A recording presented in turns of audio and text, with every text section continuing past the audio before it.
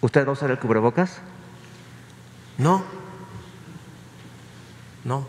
Para el empresario Alberto Narváez Arochi, es reprobable que tras padecer COVID-19, el presidente de la República, Andrés Manuel López Obrador, mantenga la postura de no usar cubrebocas, con el pretexto de que ya no contagia y que su situación se debió a que, como millones de mexicanos, salió a trabajar. Como millones de mexicanos. Ni modo que me quedara todo el tiempo encerrado. Sin embargo, considero que independientemente de las acciones del mandatario federal, el análisis recae en la actitud de la población. Pues es una ofensa y es un atentado contra la gente que está cercana a él, ¿no? Y a toda la gente que él visita. Lo que debería preocuparnos es qué vamos a hacer nosotros. Nosotros ya sabemos qué gobierno tenemos, ya sabemos qué presidente tenemos.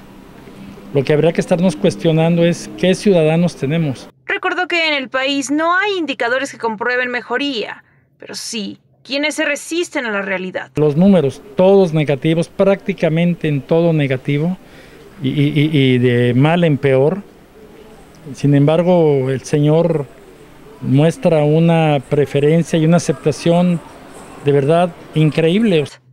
Desconocimiento sería uno de los factores, advirtió. Narváez Arochi señaló que la Administración Federal ha emprendido estrategias de reacción con proyectos al vapor que se asemejan a un paliativo, sin la clara intención de corregir.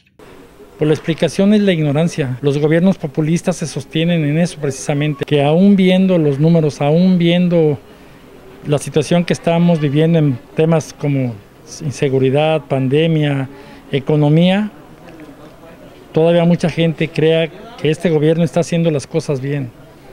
Esto es todavía peor que el daño que se está haciendo, ¿no?